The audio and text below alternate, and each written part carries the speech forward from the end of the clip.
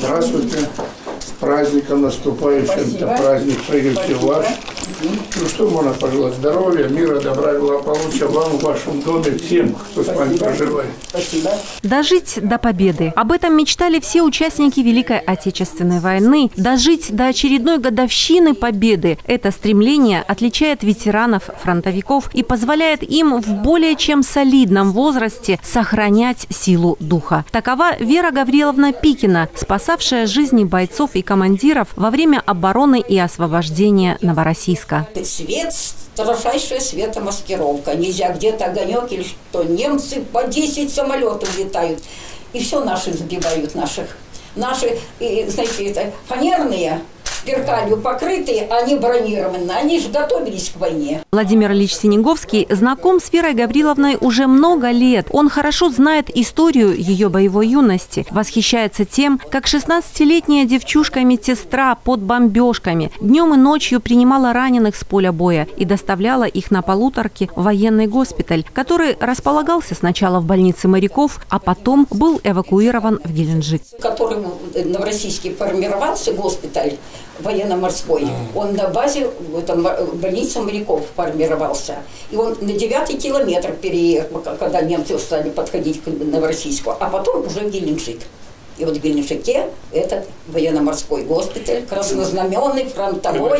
Новороссийской военно-морской базы 18-й десантной армии. Вера Гавриловна не считает себя героиней. Она, как и все во время войны, забывая о себе, делала все возможное для того, чтобы приблизить победу. А гордится она военной династией своей семьи, в которой все, включая ее дочь, выбрали служение Родине. Ну, видите, у вас вся боевая семья, Да. Все семьи, как говорится. Сын тоже э, летчик, майор.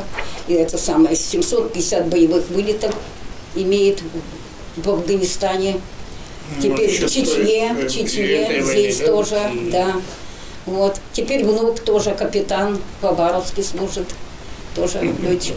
Ветеран-малоземелец уже получила письменное поздравление с Днем Победы из Государственной Думы. Но настоящим подарком для жизнерадостной и общительной Веры Гавриловны Пикиной стала личная встреча с Владимиром Ильичем. Она рассказала, что в свои 92 года считает долгом посещать учебные учреждения города, пограничный отряд и обязательно будет присутствовать на Параде Победы. И делает она все это для того, чтобы передать правду о войне и о цене победы новым поколениям. Это, наверное, одна из главных сейчас проблем, э, и они все больше и больше говорят, э, как нам передать поколениям правду о Великой Отечественной войне.